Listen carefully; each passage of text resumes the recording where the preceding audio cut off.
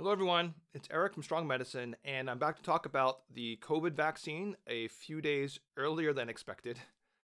This video will necessarily be US centric since I'll be talking about the Pfizer BioNTech COVID vaccine that's about to be discussed by the Vaccines and Related Biological Products Advisory Committee of the FDA. They're scheduled to have a meeting tomorrow to decide whether to grant an emergency use authorization for the vaccine and uh, in preparation, they released a 53 page briefing document two days ahead of time, the highlight of which is the phase three trial data. This data is what everyone's been asking for, and I've mentioned it on this pro- on this channel before that I've been asking for it, and that's what I'm going to talk about today. Specifically, is this COVID vaccine safe and is it effective? Before that, though, I need to spend a minute on a big disclaimer of sorts because I know that many people have concerns about the COVID vaccine candidates in general. There are uh, concerns that the products were rushed, um, that the time frame was really fast, that the long-term safety data is not available yet. Um, some people have concerns that these pharmaceutical companies stand to make a lot of money. Um, I don't I don't know if that's true, but I I understand the concerns about it, um, and that for various reasons, doctors and public health experts may not be honest, that there are conflicts of interest that can make them not objective. I know that people are worried, I get it. So before discussing the trial, I want to convince you that I can be trusted on this. I have never had a financial relationship with a pharmaceutical company. I sit on no boards.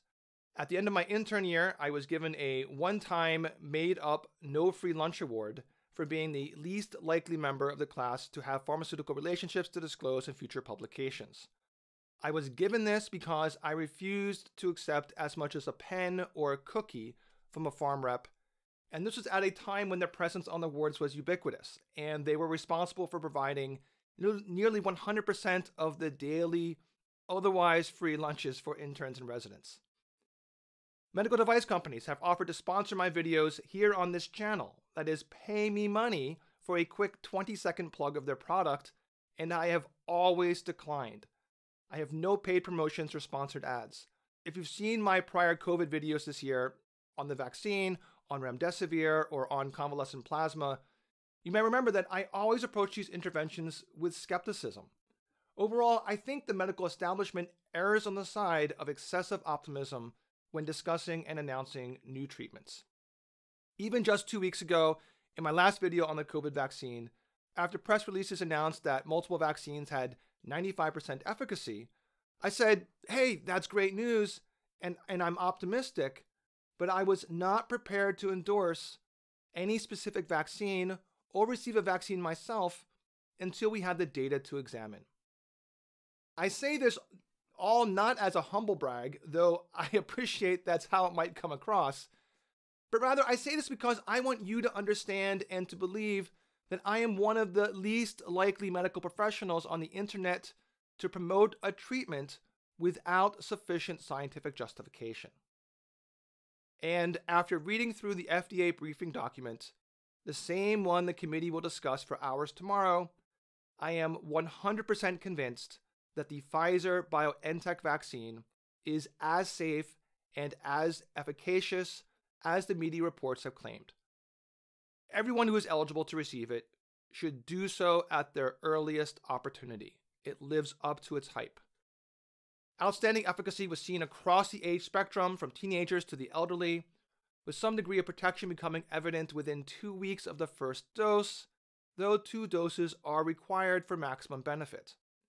And the vast majority of side effects that were seen were mild and similar to what's seen with older vaccines using well established technologies. I've been told that Stanford will have doses of the vaccine within a week, and I absolutely will get it on the first day it's made available to me. I wanted to get that punchline out of the way relatively early for viewers who are only interested in that, which is totally fine. But for now, for those who are interested in the details, I'm going to go through the actual trial data. Although the trial is not formally published yet, we can still review and critique it like we would any randomized controlled trial. We have all the data necessary for that process. And in fact, in some ways, this and Moderna's parallel vaccine trials, they're debatably the most important clinical trials in the history of medicine. This feels sort of like the medicine equivalent of critiquing Albert Einstein's 1905 paper that introduced the world to the theory of relativity on the day it was published, which is really kind of cool.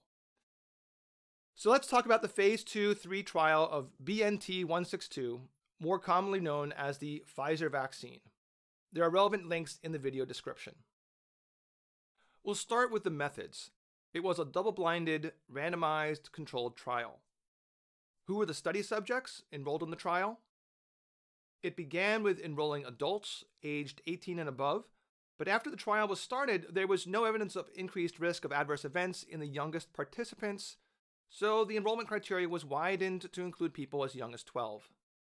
The most notable exclusion criteria included a previous diagnosis of symptomatic uh, COVID, significant immunosuppression such as systemic steroids or chemotherapy, receipt of medications intended to prevent COVID, such as prophylactic hydroxychloroquine, which I do not recommend, and women who are pregnant or breastfeeding.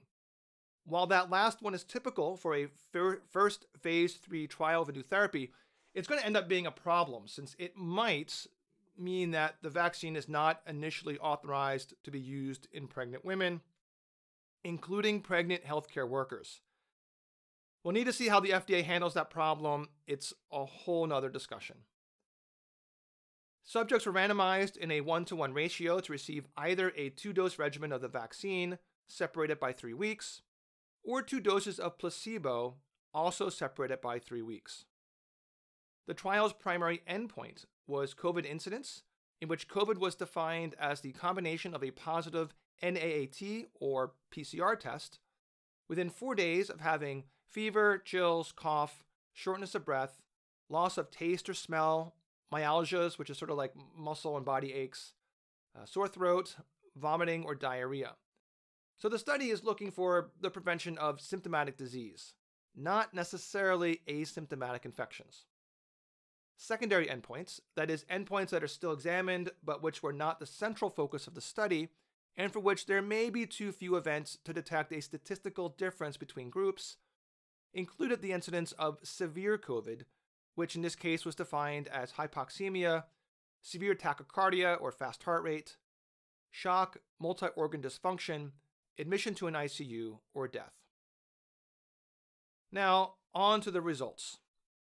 First, um, whenever you look at a, study, the first thing you should, the first results you should look at is a breakdown of the study participants to ensure that there was a diversity of age, sex, and race, and that those groups were equally divided between the vaccine and placebo arms. There were 43,651 participants, which is just shy of the trial's initial target of 44,000. There was an even distribution based on sex. The mean age in both groups was 50 years. They were 17% non white, which is significantly less than the US population generally, but this is still better than many trials, and in fact, probably better than most trials. Half had a medical comorbidity that places them at an increased risk of death from COVID. And now, the most important figure. This shows the cumulative incidence of COVID between the two trial arms, starting from the moment that the first dose was administered. The red line is the placebo arm, and the blue is the vaccine arm. The arms are indistinguishable up until a sharp point of divergence at 10 to 14 days, after which there is a very low additional incidence of COVID in the vaccine arm. A less dramatic but nevertheless additional finding here is that there was no evidence of waning protection within the four month follow up period. So, in other words, the antibodies that are triggered by the vaccine stick around at least for a little while, which was not something that was assured to happen. While one might hypothesize from the trial that a good enough level of protection maybe only requires one dose, there wasn't a one dose arm of the trial, so that's only speculation. Investigators and scientists are still very strongly recommending receiving both doses. The overall efficacy of the vaccine in preventing COVID after two doses was calculated at 95%, as was reported by the media, and was similarly high in all ages. Regarding severe COVID, specifically, the number of cases observed so far among participants has been too small to conclusively state that the vaccine is protective, but it's trending in that direction. Additional data over the coming months will more definitively answer that question. So the vaccine is efficacious. Now, what about safety?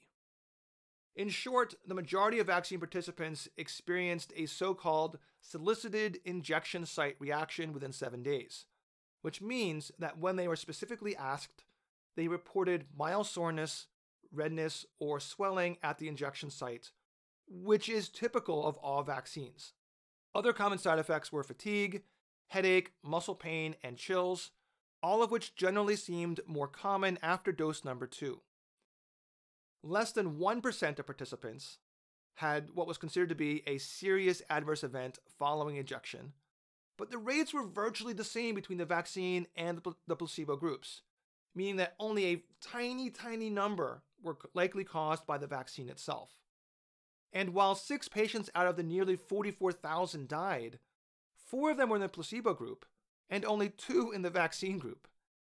The two deaths in the vaccine group were attributed to a heart attack and arteriosclerosis, or uh, like hardening of the arteries, um, which are really not plausibly linked to a vaccine reaction. So that's it. That's a summary of what we've got. In short, the Pfizer BioNTech vaccine is even more successful than scientists and medical professionals had hoped for. I will be truly shocked if the FDA does not grant an emergency use authorization within 24 hours of the committee meeting tomorrow. Once again, I am I'm very very far from being a pharmaceutical industry shell. Like but if if this vaccine is made available to you, I would urge you to be vaccinated in the strongest possible terms. In the meantime, cases are still very rapidly climbing in most parts of the country. It will probably take another 6 months to achieve herd immunity, through vaccines here, though that time frame will be sped up the more that people are willing to take the vaccine. For now, we still need to socially distance and wear masks even after you start taking the vaccine series. We need to avoid public indoor spaces, particularly restaurants and bars. I honestly I can't imagine eating in a restaurant right now. Like I don't care if it's the French Laundry, the food and service is not worth the risk. You know, you want to support local businesses, that's fantastic. I want to do that too. But order takeout. And and really, really consider not traveling for Christmas. I know it sucks. We haven't our, our own family hasn't seen any of our extended family in a year either. Getting through this pandemic was always going to be more of a marathon than a sprint, but we are well more than halfway through this by now. We all need to be patient and persevere through this winter. And if our country finally collectively gets its act together, we can all have giant family reunions at the beach next summer for postponed holiday dinners, mask and fear free.